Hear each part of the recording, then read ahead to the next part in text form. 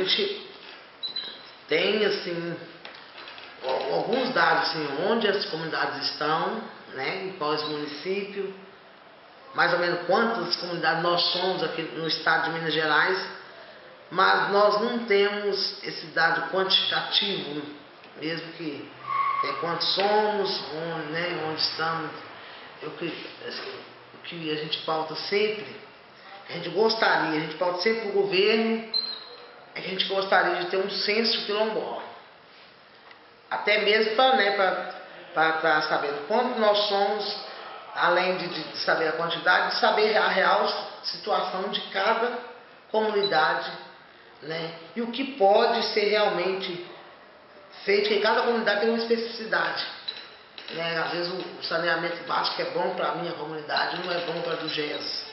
Tem que ter um, uma sensibilidade maior. Então, eu acho que se houvesse um, um senso realmente quilombola e também um interesse maior né, do, do, do Estado de estar realizando essa política nas, nas comunidades quilombola, isso ia trazer para nós grandes benefícios para as comunidades e até mesmo para o município, para a região, porque com a falta de saneamento básico, afeta, tão, tem muitas comunidades que estão afetando com doenças que, é, que se tivesse um saneamento básico poderiam ser evitadas. Eu lembrei agora disso porque eu, lembrei da comunidade lá de Minas Nova, que não tem, não, aliás, lá não tem nada, como sempre. Além de não ter o saneamento básico, a questão da saúde lá, porque os homens de sair para migrar para banho de café, essas coisas de São Paulo, trouxeram para uma doença, a, a comunidade quase toda, quase na sua totalidade, até as crianças têm novidades. E isso gerou, eu não sei como houve esse contágio, que a gente foi lá uma vez, a gente até pensou nessa questão mesmo de, do sanitário, de usar o mesmo, sei lá, a gente não sabe como se transmite direito, né? eu não entendo bem da, dessa área de transmissão de doenças, mas na, quando a gente foi lá, a gente pensou nessa coisa, que aí, se tivesse um saneamento básico, talvez não tinha alastrado a doença, não tinha transmitido tanto até as crianças. Olha, hoje, é, através dessas políticas públicas do, do, governo, hoje quase todo, eu não vejo uma comunidade, uma região que não tem água. Ainda tem algumas que estão tá com dificuldade ainda, com poço com baixa vazão, mas hoje quase todas, todas as comunidades aqui têm água. Algumas ainda na beira do rio, ainda tomando, tomando água do rio, do rio Acari, do rio São Francisco. Ainda que eu, eu hoje eu fico muito preocupado com, com com esse abastecimento. Eu acho que até é pior do que do poço artesiano. Mas eu acho que hoje não tem nenhuma comunidade não, não tem água. Pode ter alguma, alguma é, propriedade assim distante que não consegue levar, que pode até o cara até abandonar, mas isso quase não existe mais não, viu?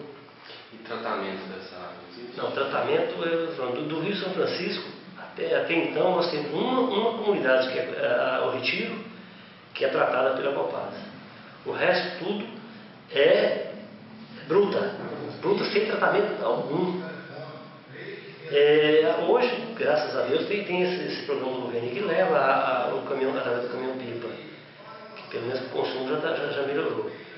Mas tratamento. O, eu costumo dizer, não é com ironia não. Eu falo até de certa forma, até com certo pesar, aborrecimento, eu falo que São Francisco não existe um mapa.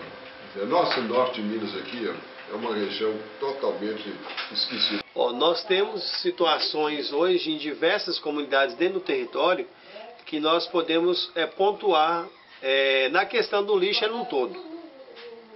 Eu, eu queria deixar isso é que está é, num todo. Por quê? Porque nós não temos hoje, é talvez até mesmo por falta de é, da cultura do, do, dos moradores, é muitos queima, outros já não queima, entendeu? Então isso tem causado um problema muito grande para a comunidade. Está sendo trabalhada essa conscientização por parte é, da diretoria da associação E a gente tem, tem tido alguns resultados em relação a isso, porque tinha comunidade que estava piores.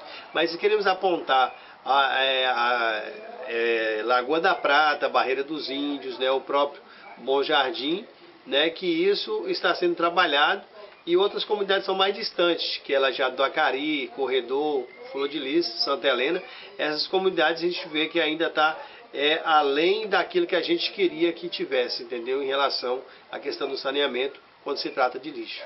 Água, hoje, a água ela é prioridade hoje praticamente em todo o território quilombola de Bom Jardim da Prata. Nós temos comunidades aí que a situação ela é realmente caótica, né? não tem água potável e as águas que se usam são águas é, que não tem, a gente não tem ainda um respaldo né, da própria Secretaria da de Saúde do município e também da FUNASA, porque a FUNASA teve na comunidade colhendo dados e colhendo essas águas para fazer é, diagnóstico, só que ainda não foi passado para a comunidade. Então a prioridade são praticamente de todo o quilombo. Ó, eu, eu vou relacionar é, Lajeado do Acari, né? Lajeado do Acari é uma comunidade, nós estamos aqui a distante 50 quilômetros da sede da comunidade. É, vocês já estão fazendo esse trabalho. E Barreira dos Índios, né, que é Lagoa da Prata, Barreira dos Índios, são essas comunidades, é, nesse momento, são comunidades prioritárias mesmo, que deveria é, fazer esse trabalho e também no Pinhãozinho essa questão de prioridade me incomoda muito. Porque para mim, todas as comunidades, em todas as regiões, no estado de Minas Gerais que nós temos aqui, elas são prioritárias. E quando eles me perguntam, me, perguntam qual a região prioritária, eu sempre coloco norte, norte de Minas, Jequitinhonha e Mucuri, porque o IDH é muito baixo. Mas com isso, as outras regiões não, não estão sendo assistidas. Pode ser que a região tenha um grau IDH alto, mas isso não são as comunidades. São os fazendeiros, são as indústrias, as comunidades estão lá em grau até pior do que os que estão na, na região com, com menos grau né, de, de vulnerabilidade. E isso me incomoda. Eu gostaria que quando eles, quando eles me falo prioridade, eu falei, eu priorizo todas as regiões. Que, que eu gostaria mesmo que isso serve tanto para os governos como para organizações, universidades, que a gente. Eu sei que para tudo tem que ter um grau, uma prioridade. Mas eu gostaria que eles falassem de, de priorizar pessoas. Que eu acho que todo ser humano é prioridade esteja ele onde estiver, em que região ele for. Eu acho que tinha que é, ter um meio de atender a todos. Eu sei que não é tudo de uma vez, mas que colocar, igual a gente faz aqui, né? Eu sei lá da, situação do norte de Minas, do Jequitinhonha, sei. Mas se você for ali na região oeste de Minas, você vai em Uberlândia, o centro de Uberlândia é rico. Uberaba também é, Divinópolis ninguém fala, mas vai lá na, na, na, na, zona rural, lá na comunidade e vê a situação da comunidade que está lá. O município pode ser rico, mas ele não está nem aí para a comunidade que está morrendo lá do outro lado. Então eu queria que a prioridade, quando as pessoas fossem falar qual o grau de prioridade, que prioridade seja vida, seja as pessoas. Que elas estão, não importando a região que elas estejam porque com esse caso das prioridades, muitas comunidades estão sumindo, porque elas estão na, em regiões de, de, ricas e ninguém lembra delas. Então elas estão desaparecendo, principalmente na região oeste de Minas. A gente já fez uma, uma investida, uma visita. A gente tem que jogar lá as comunidades, nós achamos só escombros, só as casas vazias porque ninguém ajudava, porque o povo vai ficar lá passando fome, sem emprego, sem água, sem nenhuma, só tem as casas, o local. Eu, nós tiramos, nós ficamos bobos de ver. Cadê o povo? O que, que fizeram com o povo daqui? Ninguém sabia explicar. Quer dizer, o município é rico, mas as comunidades, as pessoas, eles abandonam, como não tem, não tem prioridade para elas lá, então abandonam. Então, era isso que eu queria, tanto nos projetos governamentais, na, nas pesquisas das universidades e em todos os órgãos competentes que trabalham com essa questão da humana, né? Humana que faltasse essa questão da prioridade. Nós temos sim prioridade de, de, de, de serviço, igual, de serviço é uma coisa, mas de, de, de pessoas, de região, eu acho isso uma injustiça e, e também é um, um meio discriminatório das, das, por causa das regiões. Né? Então é isso que eu queria falar. Tem região riquíssima aí que a comunidade está lá passando fome. Ninguém lembra delas lá. Então, essa é a minha, tá. minha fala, a minha luta. Em termos de prioridade assim, regional, é um pouco difícil de delimitar, porque várias regiões têm carências semelhantes, né, em situações geográficas, demandas semelhantes também. Mas, dada a extensão territorial e a quantidade de comunidades quilombolas, que é a região de maior concentração de comunidades no estado de Minas Gerais, eu diria que é a região norte, é, até porque ela, muitas comunidades eles são cortadas pelo rio, são também comunidades ribeirinhas, e o fato da ausência de saneamento básico acaba impactando diretamente no, na qualidade de vida delas, na produção, porque esse esgoto que é produzido pela própria comunidade é lançado diretamente nos rios, né, acabando poluindo eles.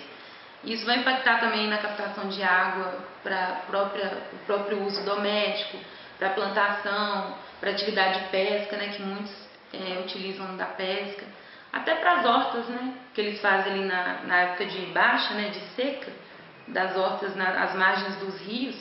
Eu não tenho um conhecimento muito técnico assim, sobre isso, mas acredito que, dependendo da qualidade da água, deve impactar principalmente hortaliças, né? Que demandam uma água mais bem tratada, para garantir a qualidade do alimento. Eu acredito que seria a região norte. E também porque ali é uma região de muito conflito com o território, então tem toda uma carência de, de acesso a programas, a políticas públicas. Então são comunidades que eu vejo uma, uma carência maior assim de, de investimento em questões básicas como saneamento. Bom, nós, nós temos uma região aqui que é, é, é uma das que tem pouca assistência, não é? que, é, que é da Lapa do Espírito Santo, que engloba o Buriti do Meio, não é?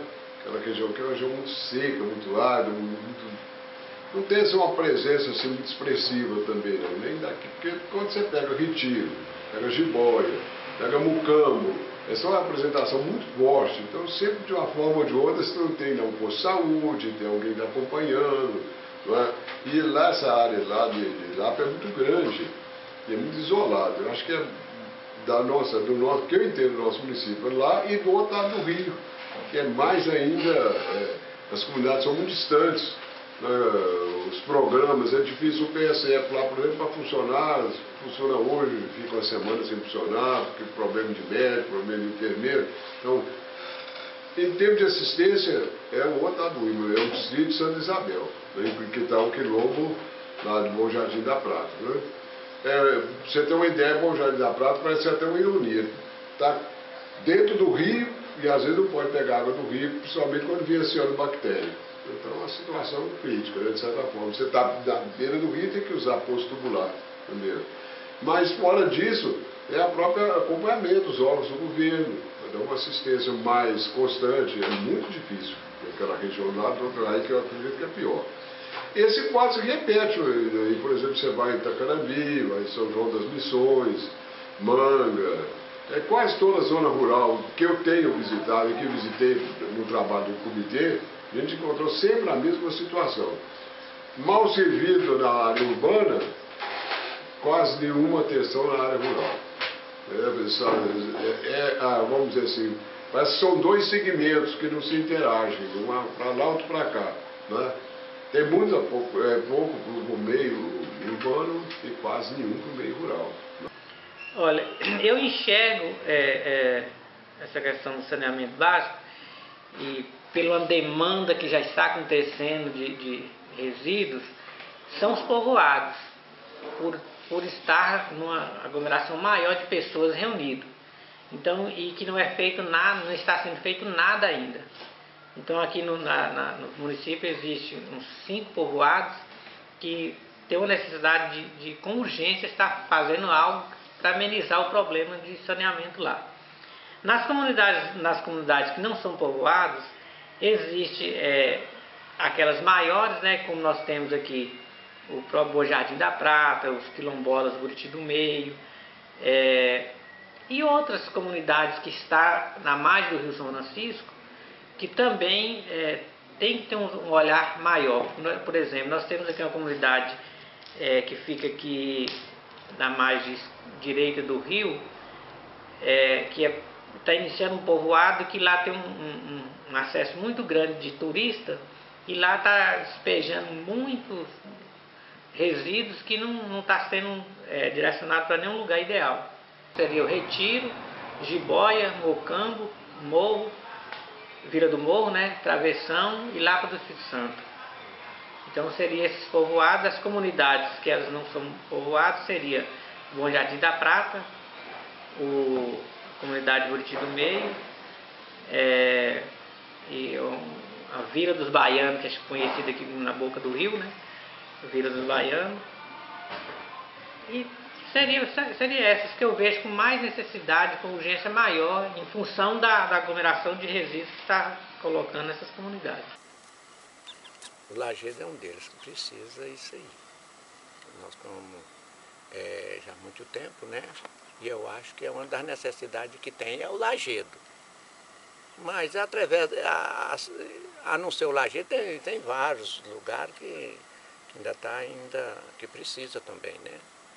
Mas, mas vamos falar, vamos puxar a brasa para o espeto nosso, né? Para assar a carne, né?